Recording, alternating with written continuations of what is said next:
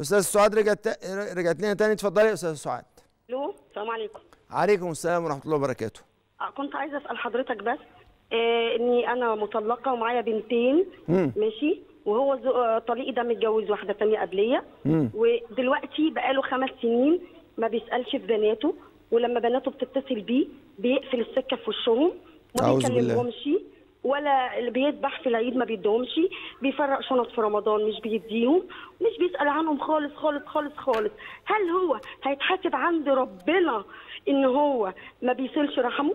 ولا لازم اللي هم الأولاد اللي يصلوا رحمة لا ده ده, ده؟ في حاجة في حاجة أعلى من كده مش بس صلة الرحم. اللي أعلى من كده إن هو بيضيع أولاده بيضيع من أمره الله سبحانه وتعالى. بالتليفون بيقفل السكة في وشهم وبناته صغيرين بناته في سنة رابعة ابتدائي وثانيه ابتدائي. خلينا أكلمه بقى. خلينا أكلمه لأن هو هو اللي محتاج الكلام مش مش حضرتك. هو الحقيقة هو يعني مش هيتحاسب. عند ربنا. هيتحاسب. ان هو قاطع رحمه. لا هيتحاسب وهو مرتكب كبيرة كمان.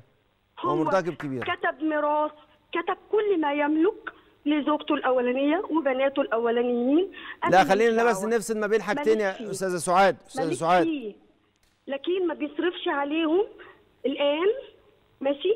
وتاركهم وحتى صوته ما بيسمعهمش. طيب ليه؟ أنا أنا هكلم حضرتك. معنويا ده معنويا مش مش البنات محتاجة أب معنويا قبل الفلوس؟ طبعا طبعا طبعا طبعا؟ طبعا. فانا بقى عايزة أعرف ربنا هيحاسبه في الدنيا وفي الآخرة ولا هيسيبه كده؟ حاضر حاضر. هقول لحضرتك يا أستاذ سعاد. طبعا أنا مقدر جدا جدا اللي, اللي بتعيشه أستاذ سعاد. خليني أقول لكم بكل صراحة يعني.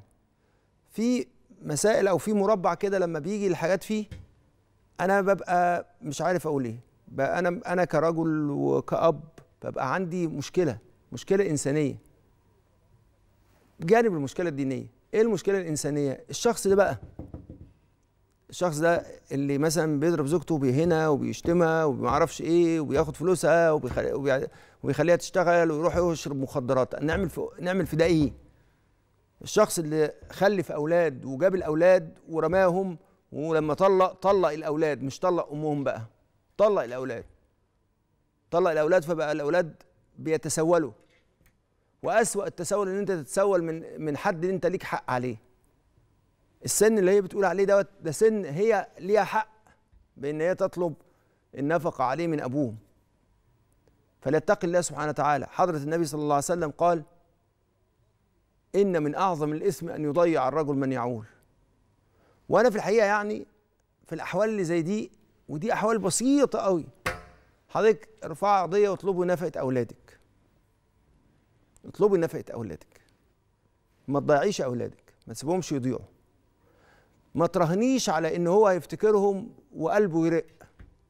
لأن واضح قوي قوي قوي قوي إن هو لما طلقك كان طلق الأولاد معاهم معاكي كمان. وإن هو لما رجع رجع تحت دعوة وبحذر الكل منها إن الزوجة التانية مش زوجة. أنت لما تزوجت تزوجت على شرع الله سبحانه وتعالى وعلى سنة رسول الله على كتاب الله وعلى سنة رسول الله فدول في آية توجهت تجاهك نحو ناحية زوجتك ونحو أولادك. خلاص ما بقتش زوجتك ناحية أولادك. لينفق ذو سعة من سعته فأنت كونك أنت تظلم هذا الظلم وتترك أولادك وتطلق أولادك وتعتبرهم إن هم كانوا نتيجة نزوة. يا أخي اتق الله. لا هو مش نتيجة نزوة دي نتيجة نتيجة زواج شرعي والأولاد دول سيقف ويأخذ حقهم منك يوم القيامة. وأنا بقول إيه؟ بقول لحضرتك اطلبي حقك وحق أولادك. يعني لو كان ليكي نفقة اطلبي حقك وحق أولادك. إحنا مش عشان نسيب الناس تتفتن وتضيع وتترمي في الشارع وحياتها كلها تتدمر. يا أخي قبل ما كنت رحت تتجوز تاني ما كنت حسبت ده. آه هي الزوجة التانية آه بس مش معنى ان هي الزوجة التانية يعني إن الأولاد دول يترموا في الشارع. فاتق الله سبحانه وتعالى. أنت ترضى إن تشوف أولادك اللي أنت بتسميهم أولادك كأن التانيين دول مش أولادك اللي أنت بتسميهم أولادك. يترموا في الشارع كده ولا إنهم يتسولوا ولا إنهم يبقوا مش عارفين يتعلموا ولا ياكلوا ولا يشربوا ويتكسر خاطرهم ويحسوا إن هم ناس ما يسووش حاجة. طب دول انت هم دول عرضك ولا مش عرضك؟ هم دول ربنا هيسألك عنهم ولا مش هيسألك عنهم؟ هيسألك عنهم. ويسالك عنهم كما يسألك عن كل نفس من أنفاس ما نام- ناموا فيه وهم متوجعين. فاتق الله سبحانه وتعالى. هتتحاسب على كل دمعة وعلى كل لحظة كانوا بيتوجعوا فيها. فاتق الله سبحانه وتعالى. واعرف إن من أعظم الإثم أن يضيع الرجل من يعول.